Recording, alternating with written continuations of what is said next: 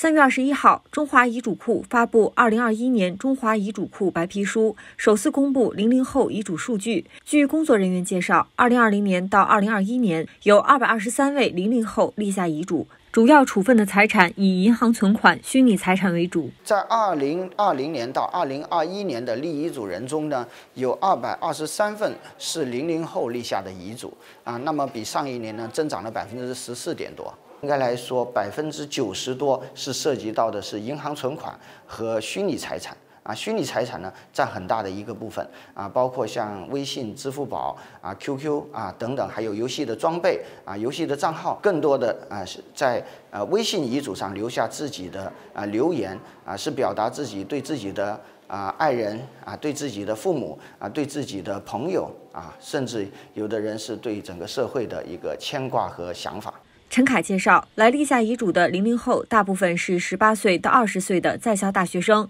他们的财产不多，希望通过这种有仪式感的方式，对他们所关心的人进行情感表达。因此，在财产继承人的选择上，也不仅局限于亲属。嗯，呃，从积极的角度看呢，这是一种社会文明的进步。新的一代人，他们更在意的啊，不是物质的东西，更在意的是情感的东西。他们很多人呢，呃，是把财产给到自己的父母，那么还有一些人呢，是把财产给到自己的朋友啊，或者是恋人啊，或者是暗恋的对象啊。那么他们用这种方式呢，实际上是在传递自己的一个情感。据白皮书数据显示，二零二一年订立遗嘱人群婚姻状况以已婚为主。占比达百分之七十点七，离异人士和再婚人士的数量五年间呈现小幅上升的趋势。此外，离婚冷静期实行一年以来，前来咨询遗嘱订立的人数增多，出现了离婚不成先立遗嘱的现象。离异人士的啊数量呢，从百分之七到百分之十一，